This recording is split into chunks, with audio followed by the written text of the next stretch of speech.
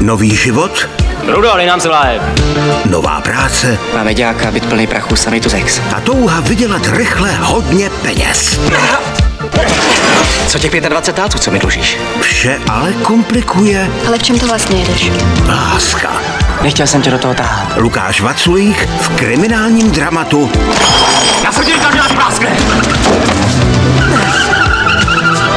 Láska z pasáže. V pátek ve 20 hodin na CS Filmu.